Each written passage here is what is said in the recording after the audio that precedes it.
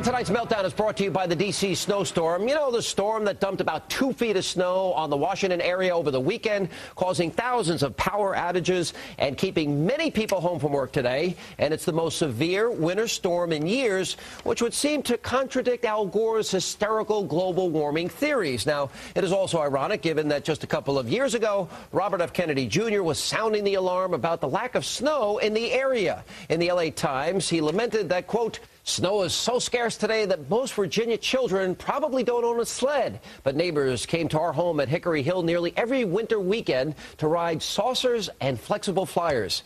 Yes, the good old days, flying saucers for the Kennedys. Pretty unbelievable. Now, I bet the snow even kept Al Gore's jet from taking off.